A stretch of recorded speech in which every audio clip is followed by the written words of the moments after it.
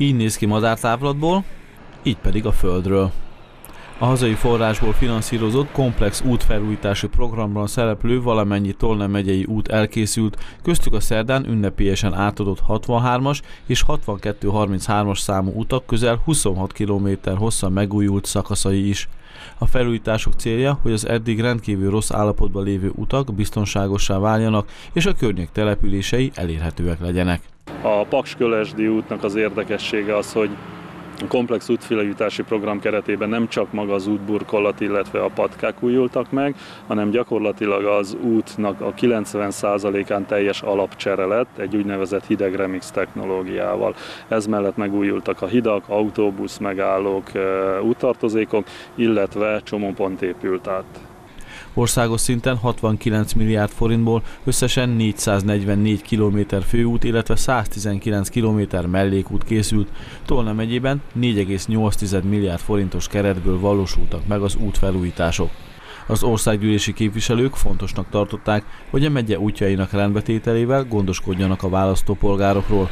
Ahol még szükséges, ott elvégzik a felújítást. Fontos az, hogy minél több településhez érjenek el ezek a felújítások. Én azt gondolom, hogy a következő év nagy kihívása az a nagy dorogi paksi szakasznak is a, a megújítása, valamint Szexádon az 56-os út felújításának a, a folytatása, illetve Szexád környéki településeknek az elérhetőségének a javítása lesz egy nagyon fontos cél. A korábban elkészült Tengelic Szedrest összekötő mellékút felújítása Szexád irányába könnyítette meg a közlekedést.